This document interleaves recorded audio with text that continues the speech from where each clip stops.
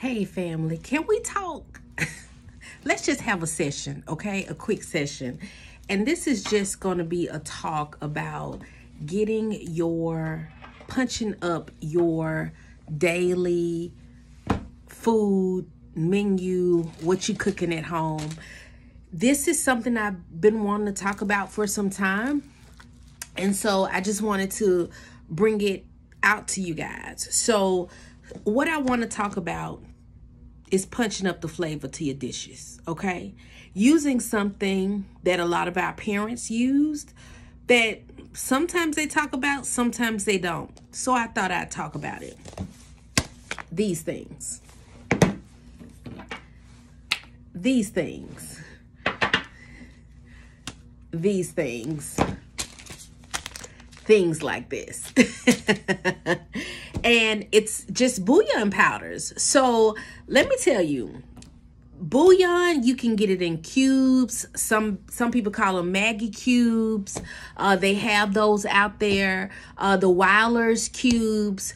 Um, but one of the things that i noticed because i shop in a lot of different stores one of the stores in particular is mi pueblo. And it is a hispanic grocery store and I noticed that they carry a lot of Knorr loose uh, seasoning.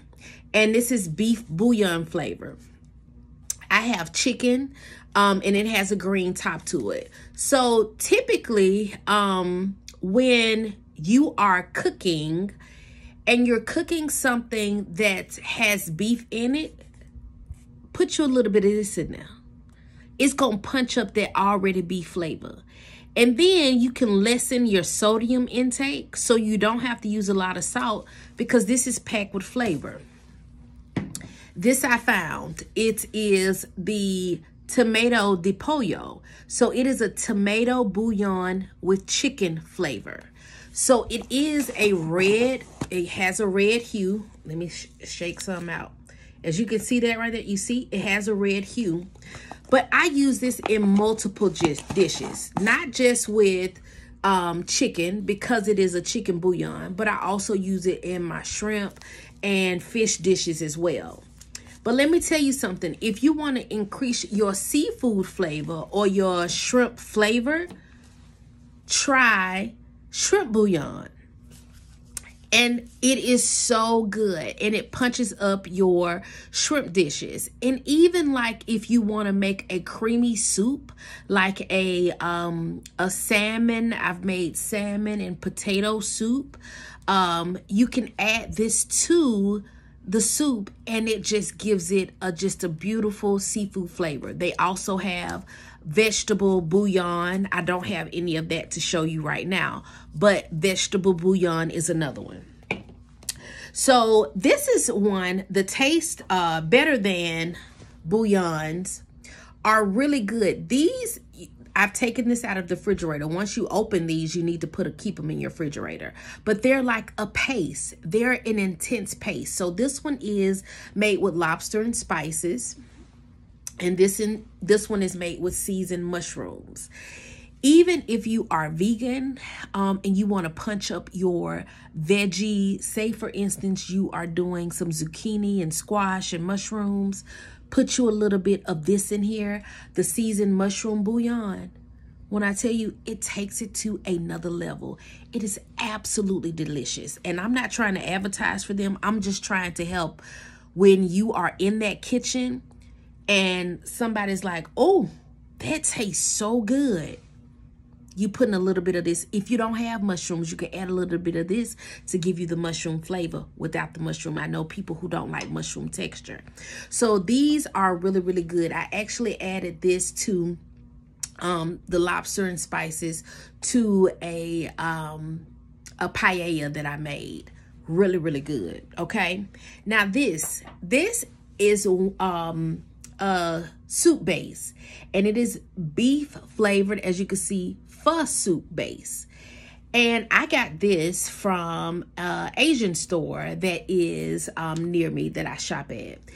And when you want to like pick up on those flavors, talk to the folks at the store. They will tell you. Now, I am a, I love pho, all right? I've made pho. I've posted uh, my pho recipe, and I made it with, starting with bouillon. But when I found out they have the pho base, I just go, went and bought it. And you just scoop out what you need. And it has all of those flavorings of the pho that you need to make it happen. Um, let me see. So some of the ingredients in, in pho that takes all day to make that you got in a, a flavor pouch is salt, sugar, beef fat, dried beef stock, um, and spices. Fish sauce uh, in, in fish sauce uh, powder, which you know is fermented anchovies and salt. So I keep fish sauce in the refrigerator, but for those who don't have it, just drop your spoons in here. If you want to follow the instructions, I'm the type of person, I'm going to taste what I cook. So I'm going to put it in and taste it and see if I need some more. So this is really, really good. Another secret that I have found that has punched up a lot of my dishes is tamarind soup mix. You ever go out and you taste like this twangy yet sweet like yet salty savory? You can't put your finger on it but it's delicious. Sometimes it's tamarind. And tamarind soup mix it is like this love song of like twang and I'm I love a good twang, okay? I am not one of those people who don't like vinegar. I love balsamic vinegar. I like any kind of vinegar.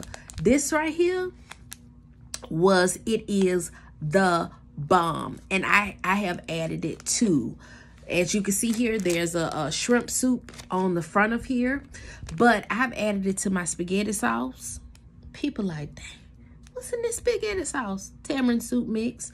I don't use, you don't have to use a lot of it. So this one packet may last me for a while because I'm just using a little bit in it to twang it up. My sausage rustica, it's on my YouTube. You saw me use this. Those are some of the things that I just wanted to show you guys. I just wanted to sit down for a minute and let you know that I use um, just to take my cooking up a notch or make it a little bit more. Because sometimes when you make a dish like spaghetti, I, will take that for an instance. Spaghetti to me tastes better the next day. But if you put just a little bit of this in there, you getting that punch of flavor on the first day and you ain't got to wait till the next day. Sometimes stews and stuff take a long time to cook.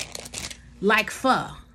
You can shorten your time frame and have a delicious pho uh, broth ready for your noodles and your whatever um, meat or non-meat that you want to choose with using a pho base. So I just, you know, it's all about making it easy, quick, and delicious. And I just wanted to come in and let you all know what I use when I'm in the kitchen to punch up those flavors. So I hope this helps you. I just, I've been thinking about doing a bouillon like sit down with y'all for a while now.